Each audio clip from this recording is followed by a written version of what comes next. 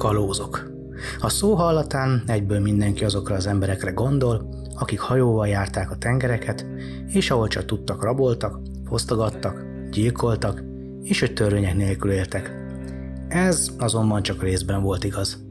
Az úgynevezett Kalóz Kódex tartalmazott bizonyos szabályokat és elveket, ezek minden egyes kalózhajókon azonban eltérőek voltak. A szabályszegők számára a büntetések és a kivégzések kegyetlenek voltak. Olykor sokkal embertelenebbek, mint az akkori korban lévő királyi flottánál vagy a katonaságnál. Ebben a videóban bemutatom nektek a legkegyetlenebb kalózbüntetéseket és a kivégzéseket is. Itt a Sötét Múlt csatornán.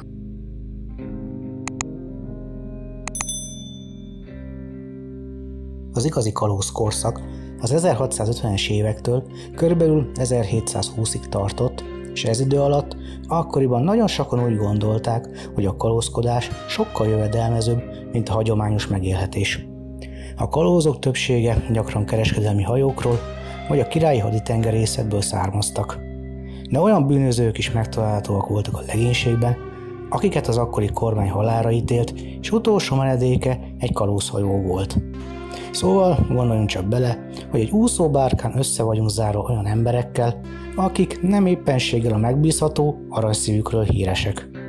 Éppen ezért szükség volt minden egyes hajón különböző írott és íratlan szabályokra és azok maximális betartására.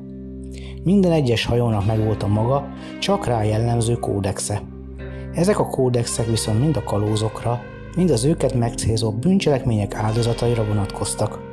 A szabályok be nem tartása, megszegése súlyos következményekkel járt. A büntetések kiszabása körüli események általában mind ugyanúgy néztek ki. A hajó főfedélzetén mindenki összegyűlt, majd megjelent a hajó kapitánya is. A vádlottat előállították, majd a kapitány előtt ismertették az ügyet. Igazából ez a procedúra akkoriban majdnem ugyanúgy nézett ki, mint a mai tárgyalás. A hajós kapitány segédje volt a jogi képviselő, aki felvázolta a történteket. A bíró és ítélethozó pedig egymaga a hajó kapitánya volt. Miért megtörtént a meghallgatás, a kapitány kiirdette az ítéletet. A büntetések vagy a kivégzések elég széles skálán mozogtak. Most pedig lássuk őket sorban, hogy mik közül választhatott a hajó kapitánya. Korbácsolás A leggyakoribb büntetésforma a kalózhajókon a korbácsolás volt. Általában a hajó főfedélzetén történt az esemény. A tengerészről levették a pólót, majd az egyik árbóchoz kötözték. A hajós kapitány segédje pedig egy kilenc farkú korbáccsal előre meghatározott számú csapást hajtott végre a tettesen. A kilenc farkú korbácsot egyébként úgy is szokták nevezni, hogy a kapitány lánya. A bűncselekményekért kiszokható büntetések egy tucat korbácsolástól indultak, ezt a mennyiséget általában valami kisebb vétségek miatt kapták az illetők. Ahogy az ügy egyre komolyabbra fordult, úgy növekedett ez a szám is. Előfordult olyan is, hogy akár több száz ütés is lehetett a büntetés. Ezt azonban nem egyszerre hajtották végre, hanem egységesen elosztva.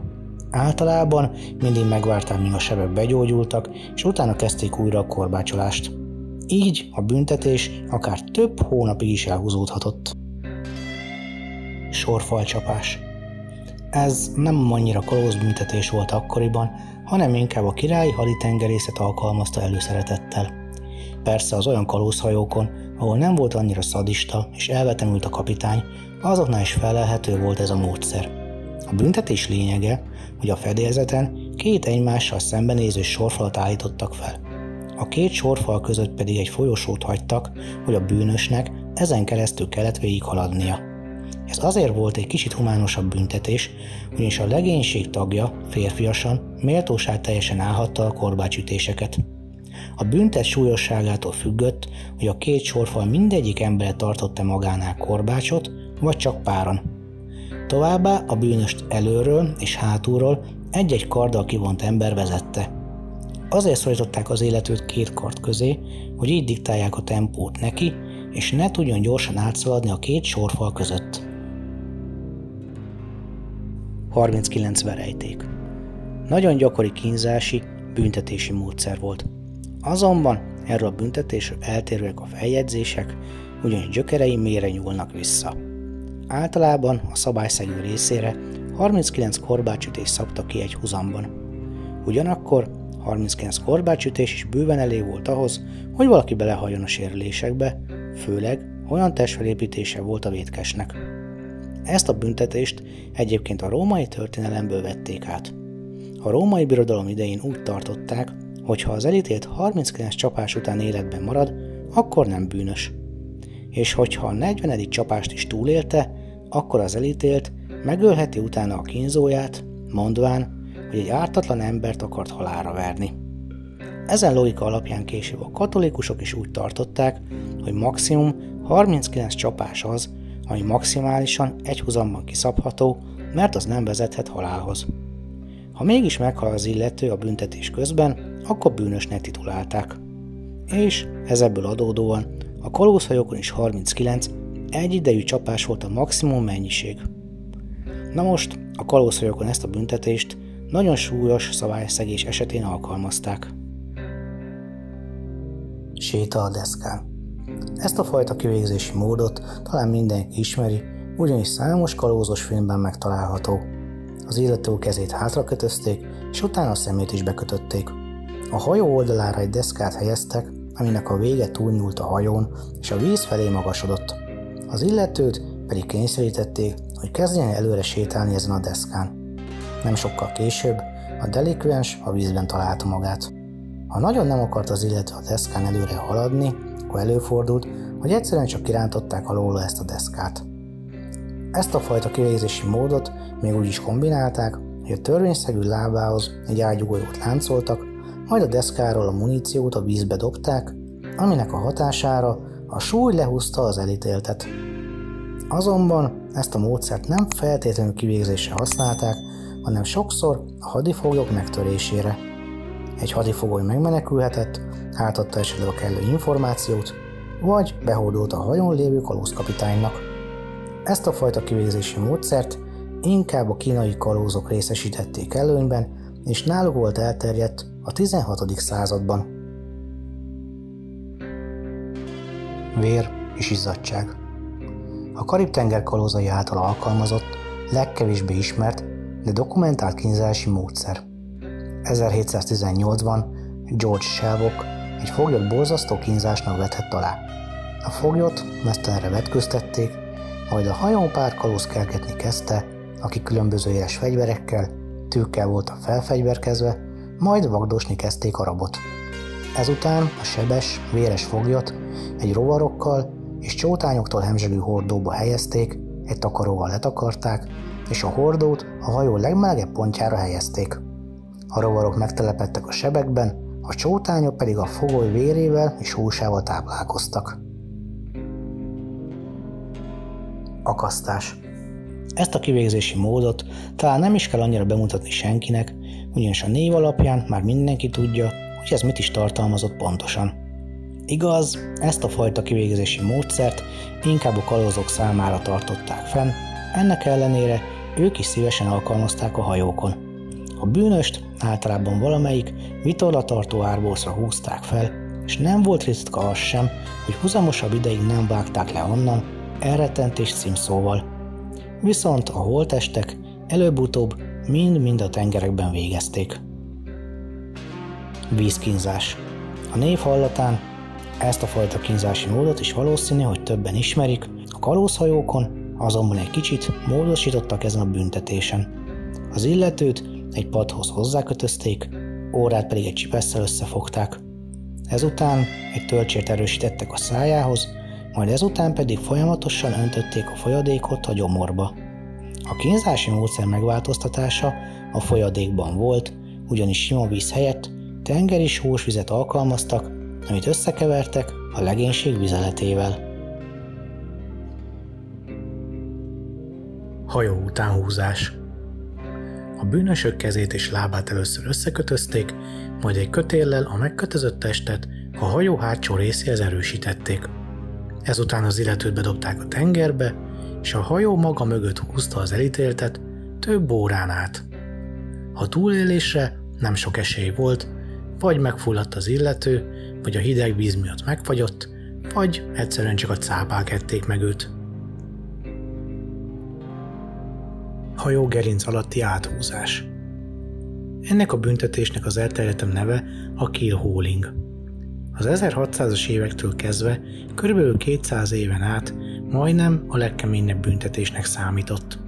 Ezt a büntetést nem csak a kalózok, de a királyi haditengerészet is alkalmazta. A kill haul, a holland kill kifejezésből származik, ami azt jelentette, hogy a hajógerinc alatt, tehát a víz alatt kellett áthúzni a tengerészt. Ez a gyakorlatban úgy nézett ki, hogy a hajó egyik oldalán kidobták a vétkest, majd egy kötés segítségével áthúzták a víz alatt a hajó túlsó oldalára. Ezt is különbözőképpen csinálták. Az egyik megoldás az volt, hogy egy lendülettel áthúzták az illetőt, viszonylag gyorsan.